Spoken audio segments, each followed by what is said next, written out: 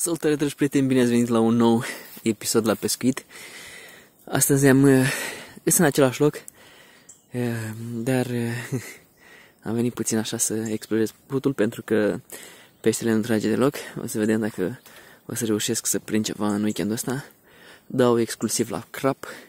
Poate, poate o să schimb pe, pe feeder, nu știu, că am înțeles că nu trage crapul de vreo 3-4 zile Nimeni n-a mai prins nimic, nimic, o trăsătură, nimic, nimic la crap. Hmm. Am fost până în vale și am urcat. Ia uitați ce abrupti. Ia uitați cum, cum mănâncă plutul din malul ăsta. Creează locuri. Nu bune de pescuit sau de pescuit, de unde să se ascundă peștii foarte frumos prutul. Uh, multă lume, multă lume, tot spun multă lume, dar nu chiar așa mulți, uh, îmi spuneau că la ei prutul uh, îi, nu sunt copaci pe margine. Ia uitați ce la noi aici. abia, abia dacă reușești să...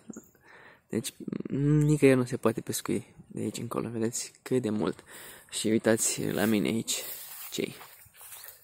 Un drum, înainte era un drum unde treceau căruțe și acum poate toamna mai vin la lemne, dar um, totul este împădurit, foarte, foarte mult, foarte mult lemn. Mi-a, mi-a atras atenția cineva, adică mi-a atras atenția, a zis ce, ce probleme sunt pe Dunăre, uh, unde pescarii care vin și stau mai multe zile taie toți copacii de pe, de pe mal, au tăiat și meri și pruni și... Da, foarte urât, foarte, foarte, foarte urât. Uh, multe lucruri se întâmplă, cum oamenii, povestea cineva care a nădit și a prins câțiva, vrea să prindă câțiva carași să dea la somn și a venit cineva după aia pe locul lui și a prins o grămadă de crap uh, sub jumătate de kilogram pe care l-a luat tot acasă și chiar mi-a spus că era un doctor, deci un om care avea oarecum un anumit statut, adică nu murea de foame acasă și a luat foarte, foarte, foarte peste 100 de crăpușori. Foarte urât ce fac unii oameni. Ehm, cred că o să fac un episod în care o să vorbesc despre eliberatul și reținutul peștilor. Ehm, chiar dacă am mai făcut, ehm, vreau să, să vă spun exact ce părere am despre asta. Ok, prieteni, sper să prind ceva. O să vedem dacă treaba e bună sau nu. Am vrut să filmez și ceva peisaje, că multă lume își dorește să vadă peisaje e o nebunie aici la noi, foarte, foarte sălbatic. Cu siguranță în multe locuri din țară este foarte, foarte, foarte frumos, uh, dar la noi uh, este dată frumusețea asta și de sălbăticia locului, fiind, uh, na, suntem în Moldova, în nordul extrem al țării, nu doar că suntem în Moldova și știți că la noi oamenii lumea e mai întârziată, suntem la capăt de țară, suntem la capăt de linie, uh, vama de la noi cu Republica Moldova și cu Ucraina prin zonele astea, uh, alte țări mult mai puțin dezvoltate, uh, nu, nu este comerțul în floare, nu este nimic, nu se fac investiții, așa că lumea a rămas puțin în urmă, ceea ce pentru mine e absolut incredibil, pentru că eu mă bucur de peisaje și de frumusețea locurilor. Încă nu a ajuns uh, tehnologia foarte tare în zona asta, deși toată lumea dispune de ea, dar na, e o zonă foarte săracă și bineînțeles asta se reflectă și în zonele naturale, lumea nu, nu, nu știu, nu mai vine la pescuit. Hey, am văzut hamei, cred că. Da. Uitați, avem și hamei pe malul plutului, așa că pescarii își pot face berea uh, direct aici, să-mi spuneți dacă e hamei sau nu. Sper să nu greșesc.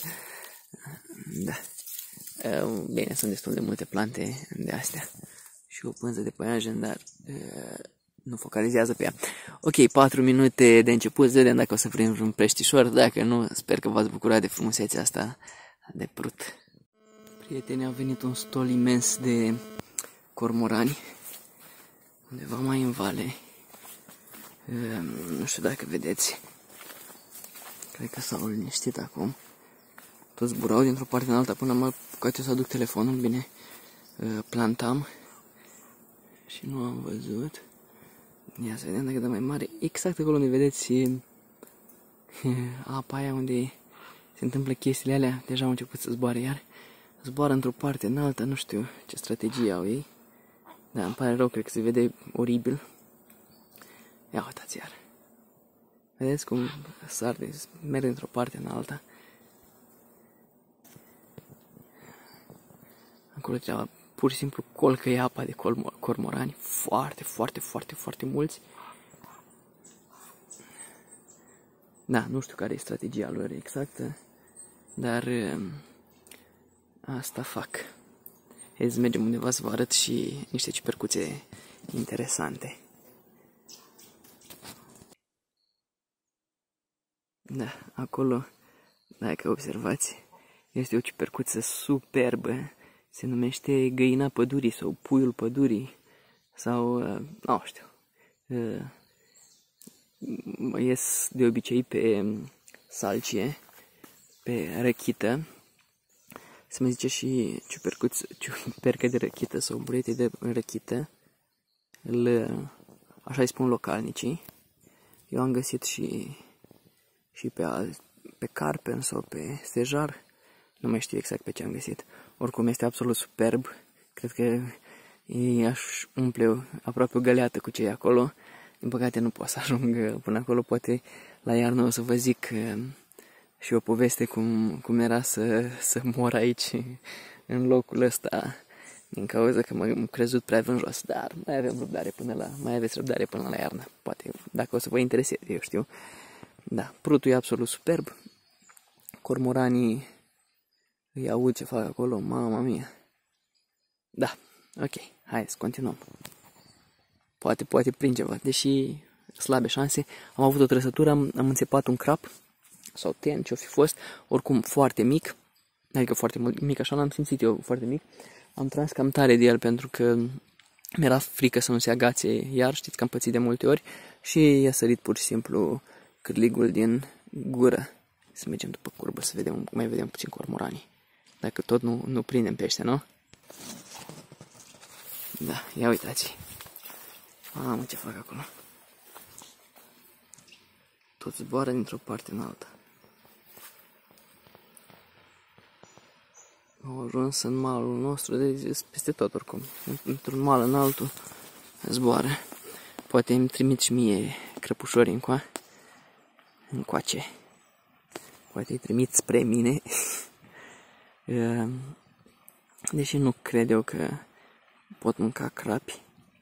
Oricum pot crap mari, na. Oricum pot mânca pește destul de mare. Am văzut un film cum, um, cum pescuiau uh, uh, în China localnici de acolo cu cormorani, pur și simplu legau o, o ață la gât ca să nu poată înghiți peștele și le dădeau drumul pe iaz și veneau cu peștele. Uh, caras, am văzut că prindeau mult. Știți foarte bine că carasul și crapul e originar din zonele alea. Ehm, da. Ehm, da, mi se părea ceva foarte urât, deși n-ai o chestie tradițională, nu-i de judecat, să, fiu, să fim sinceri, chestiile astea tradiționale, na. Dar mie mi se rupea inima când vedeam ce fac oamenii cu cormorani. Știu că majoritatea pescarilor uh, urăsc cormoranii, dar să fim serioși, sunt pescari mult mai buni decât noi. Ia uitați, vin încoace. Să trebuie să-i sperii, ca să nu să sperie tot peștele. Nu că ar fi peștele meu, mamă, de ce e acolo? Fai de capul meu ce e acolo. Da, v-am mai zis că Zol, Zoltan, sper să nu greșesc, Benzar. Benzar e ușor de ținut minte că are el linia aia de nade da, zicea că ar trebui omorâți, ar trebui fă, să facă ceva autoritățile cu cormoranii și eu cred că v-am spus că părerea mea e că atât timp cât, ia uitați unul, a venit în, să vadă care-i treaba, sunt foarte deștepți, foarte, foarte deștepți. Am prins unul odată într-o lansetă, vai să-mi va picioarele, ce, ce trăgea săracul și uh, am prins, aveam la peștișor, uh, dat o lansetă, și am plecat din zona aia, ar trebui să ajung până acasă, nu știu ce, m-a chemat bunica, nu mai țin minte, oricum mulți ani în urmă. A, și sunt și rații aici, aproape. Sunt și rețuștea, rețuștea am văzut mai multe. Da, și m-a chemat bunica acasă, am lăsat lansetele și când am venit, noroc că am asigurat-o, acum nu le mai asigur, pun bait runner-ul, dar uh, atunci le-am asigurat și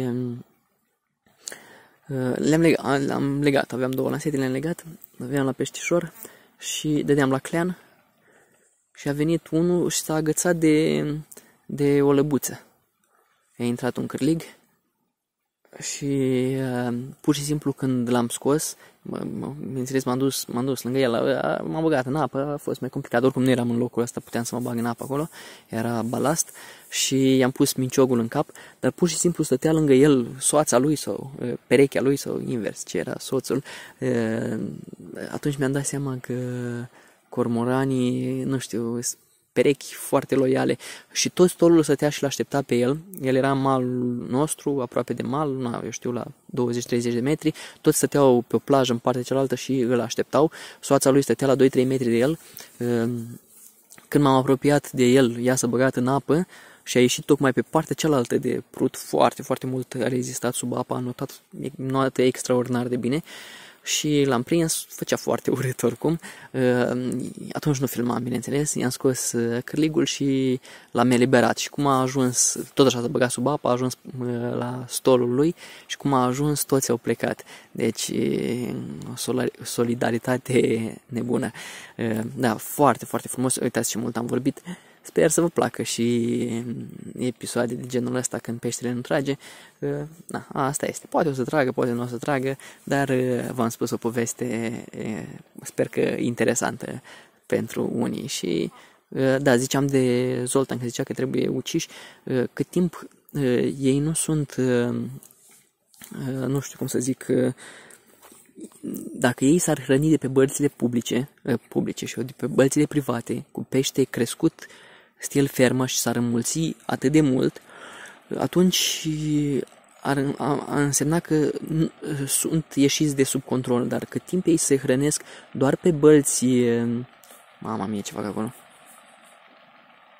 ce strategie de pescuit au, Hai de capul meu. Cât timp ei se hrănesc doar din, alt, din ape uh, uh, sălbatice și cât timp apele astea sălbatice îi susțin, asta înseamnă că e o chestie naturală, că e o chestie normală, nu ar trebui uciși, după părerea mea. Nu suntem noi pe primul loc pescarii, pe primul loc este mediul și să fie, să fie, nu știu cum să zic, să fie râurile cât mai naturale, să fie că, na, asta înseamnă că e un, cu un râu, dacă vin cormoranii pe el, înseamnă că îi, îi sănătos și că populația de pește este oarecum în regulă. Bine, da, mai vorbim noi despre de astea și altă dată că mama mia cât am vorbit, 8 minute v-ați săturat, cred că.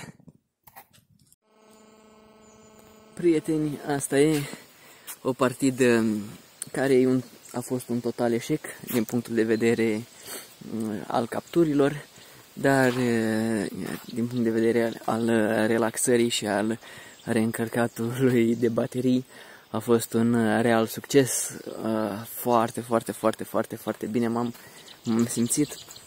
Uh, nu m-a deranjat că nu am prins pește, pentru că a fost oarecum răcoare și cât de cât înnourat și de fiecare dată când prindeam pește trebuia să cobor în soare să transpir până la piele, dar acum uh, este uh, super ok. O partidă de pescuit pe care o voi, probabil o voi, voi o vedeți acum când e iarna, pentru că uh, cine vrea să vadă pescuit în care nu se prinde pește, dar în schimb cu siguranță iarna o să vă bucurați de peisaje și de natură. Mai sunt destule cu pescuit, așa că am ce încărca nu e nicio problemă. Ia uitați cum, cum face avatul. Ar trebui să mă apuc de, de învățat cum să prind avat la uh, spinning.